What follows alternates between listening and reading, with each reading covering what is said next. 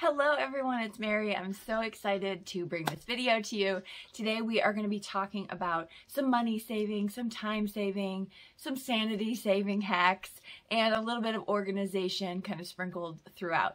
So I'm really hoping that this video helps you, uh, whether you're a new crafter or a veteran crafter, uh, but just kind of helps you, you know, skip a few steps here and there to kind of make the process go a little bit smoother. So let's get into the fun.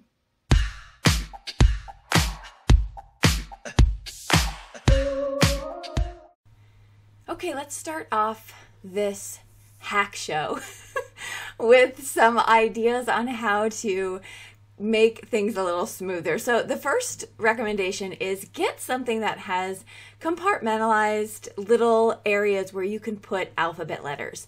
I have so many alphabet dies, but I find myself hesitant to use them because I feel like if especially the ones where you roll them through and you get the whole alphabet all at once, where are you going to put all those extra letters? So I like to keep all the different fonts but per letter in these little containers and I label them with these stickers so that I can just grab out what I need and add them to my projects. So I think it's really really a very uh, just a time saving hack for me um, to make sure that I'm able to move a little bit faster. The pulling out a, a specific alphabet die set every time I want to personalize a card or an envelope or something like that, it just gets tedious. So I feel like if I'm uninspired to make a full card one day, then I can just sit down and kind of do some of these things that I know my future self will certainly thank me for. So I did this for all of my alphabet letters. Now I plan on going back and doing a whole set in white. And again, there's so much space in those little areas that you can just keep adding different colors of letters. These particular cases are from scrapbook.com, but just look around, go to the thrift store even and look around to see if there's something that you can use similar to this. It doesn't even have to be squares, it could be little drawers, just something where you can kind of put your letters a little bit better separated out because I find when they're all together, that's another deterrent for me to not want to use them because then I'm sifting through stuff. But if I know I'm just sifting through an entire series of A's, then I'm okay with that. So um, just something to consider here. I wanted to make sure that I included this in this video.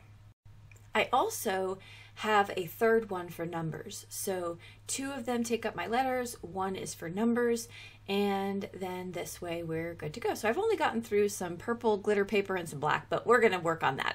all right, let's move on to the next time saver, and that is to cut up all your cardstock into the pieces that you want uh, all at once. I find that, again, uh, when I have not done this, I've been doing this for a decade, but on the times when I've gotten either short on cardstock or gotten lazy, I really don't want to sit down and craft as much. But if I have all of my card panels already cut out, all my card bases already cut out, then I just feel like that part of the process is done and I don't have to think it think about it. So right here, what I'm doing with my Bristol smooth cardstock is I'm going through and I'm cutting them down to slimline size. I have had A2 size card panels made for a long time. Um, I actually have to sit down and do a whole bunch more of the A2. But for this one, I don't have any uh, slimlines, and I love slimline cards. So I just wanted to make sure I had a handful of that to make sure. Now, I've been asked what I do with the extra paper, and I do keep that for scraps or for little pieces. But for the panels, I like to store mine and label them. You can do this either in just a quick, easy filing system without labeling. You can, I know I've, I have a couple different ways that I do my A2 size in my crafting tour video. I showed that. Um, I picked up something from the thrift store. So you can do that either way. These envelopes are really sturdy. They're from scrapbook.com. But again, you can use just envelopes you get from the Dollar Tree and just stick as many panels in there as you possibly can or no envelopes at all. I just like to label the card stock itself. So I like to know if I'm grabbing for the Bristol or the Accent Opaque uh, 80 pound, Accent 100, watercolor, whatever it is. And so this labeling system helps me. Now I did it on the vertical and the horizontal side because I was unclear at this moment how I was going to actually store them. And so I just kind of had the printer out and I just, or the little label maker, and I just went for it. This system can also be used to save uh, time and space and just organize really more on the organizational side. Uh, if you already have some pre-cut stuff for your dies. So right here I have this grass die cut through a whole bunch of different shades of green and I keep them in this envelope. This way I can, and hillsides too. This way, if I want to just kind of assemble a card, it's all right there for me. I have some clouds. I have, so it's kind of like the outdoorsy scenes, if you will.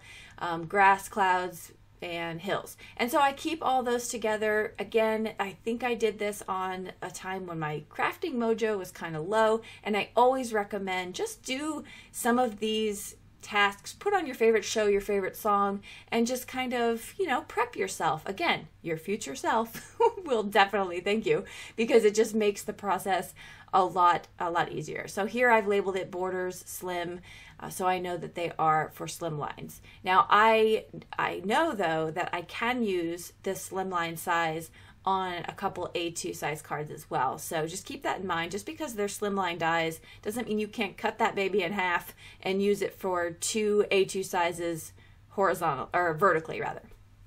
So that is a little uh, tip for some organization and just to get yourself ready to go for your future projects.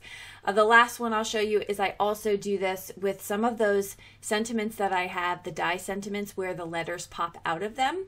So I could take those letters and just pop them into the first letter organization I showed you, or I can just put them in the envelope, keep them together.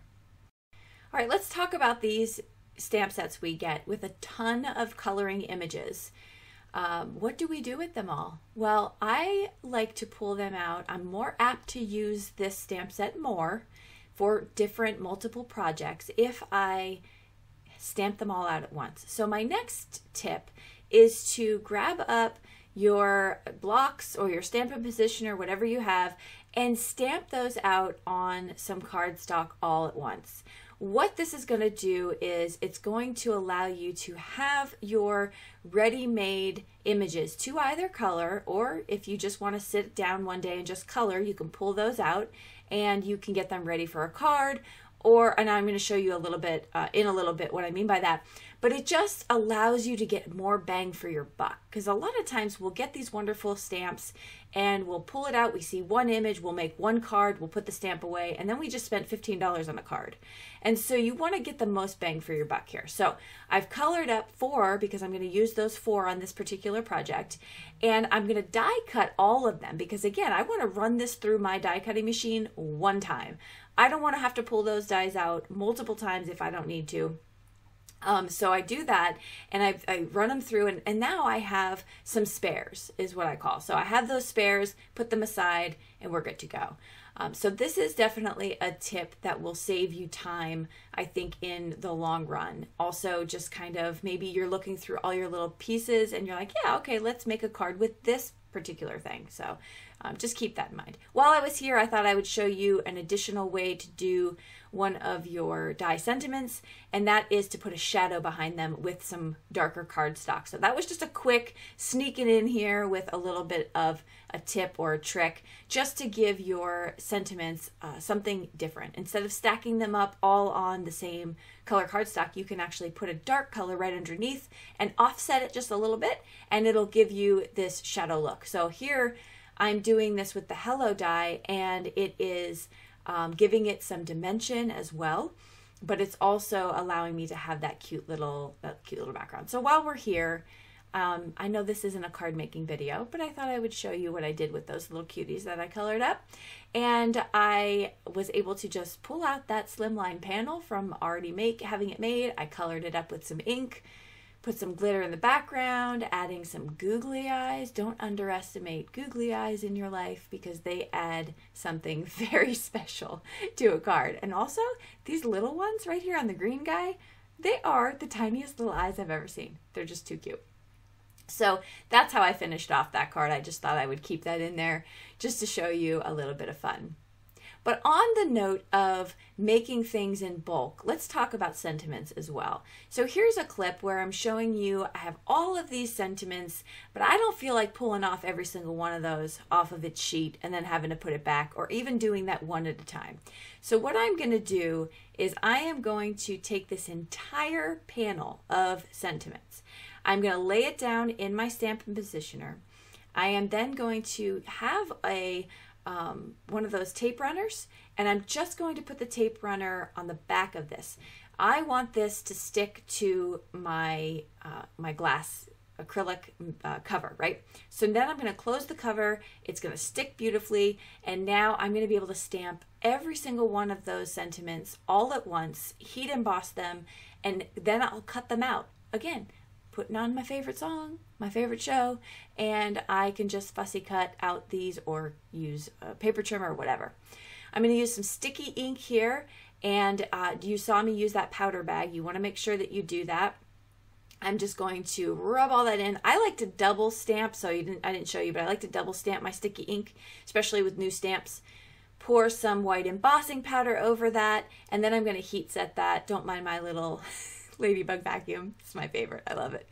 Um, so there we go. And then we have all of our goods. Now, the next tip I want to move into is storing your extras. Now, maybe you don't have as many extras as I do. In fact, I don't have as many as you see here anymore because I made, one day I sat down and I made like 25 cards and anything I wasn't going to use in the future, I just parted with. But I would recommend not doing what you see here. I would recommend uh, categorizing your items. So either keeping all of your wintry stuff together, your critters, your words, like try to keep, or themes, break it up by themes. If you find that you're making a lot of birthday cards, um, you know, keep your birthday card stuff together that kind of thing. Because again, when you just want to start assembling cards or you need a quick card, like, you know, someone tells you, hey, my husband the other day, side note, laying in bed. Do you can you go make not go make? He said, "Can you make a card for so and so, one of his clients?" And I was like, "I don't need to go make anything. I have tons already." so we're good. But it's just one of those things like you can just throw together a really quick card. So I'm just showing you here as I blabber on that I'm categorizing all my things. I really should have videotaped when I sat down and just put cards together. Um, but I just kind of got in the mood to just be creative and not have to worry if it was shutting off on me, all that business. So I just had a good time. But uh, maybe I'll do a video and show you what cards I actually did make from all of this. If you're interested, let me know. I might put that on my Instagram. Um, I think that would be kind of fun. So, all right, enough of this. Uh, recommendation categorize your stuff, use whatever uh, organizational thing you want to to capture all of it. This one in particular is again from scrapbook.com. They have a lot of really affordable, good organizational uh, type of uh, systems over there. So if you want to check that out, of course, do so. But again, whatever you use, uh, just I'm saying it makes your life easier if you just keep them all together. Okay let's move on from this. The next thing I want to talk about is reusing some of your other crafting items. So right here, I am making a uh, shirt with some iron-on vinyl. Now, by the way, all of these video clips are from full videos, so if you want to check those out, I'll try to link everyone below. But anyway, I'm going to have this leftover piece here, this, this sticky piece from the vinyl, right? So I'm pulling this off, and this is obviously in the shape of a tree. But I did not want to throw this away. A couple reasons. It's awesome, it's really big, and it's sticky. So I knew I can get other uses out of it. So I put it aside. Okay, so then I pulled out this piece of wood we just literally had laying around in the garage and I placed it down on the wood. And remember, this is sticky, so this is almost like its own adhesive stencil, but it's not so sticky that it's going to ruin any of your projects. So I placed that down and then I pulled out some of my distress stains and I just decided to have some fun. Now, this was all experimental. I had no idea what was going to come of this, but ultimately, I just wanted that outline of the tree. I didn't need to be perfect, I didn't care about that really. Um, but I went through and I stained the wood behind.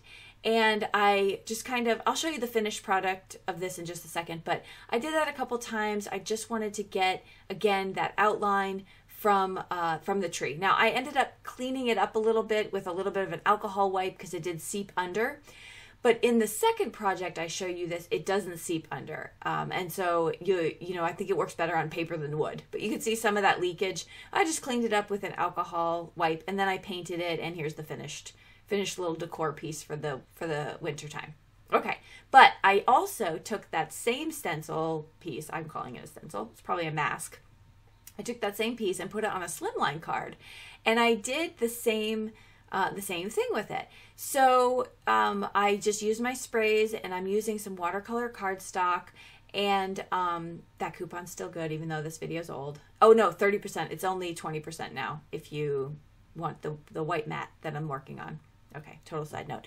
All right, so I'm just going to spray that and then I want to make sure that I pick up all that excess before I pull off that mask so that I can get as clean a look as possible. I think this was my first time playing with distress stains, which are like just so fun. Just fun and magical and fun.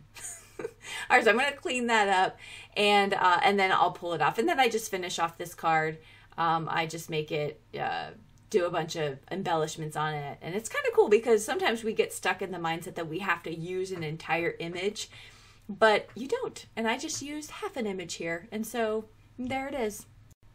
Okay, so once I heat set that, again, I think I heat set it. Yeah, I heat set it before I actually pulled it off because I was afraid it was going to uh, leak under there. So then uh, stencil comes off, and now we have a really nice mask.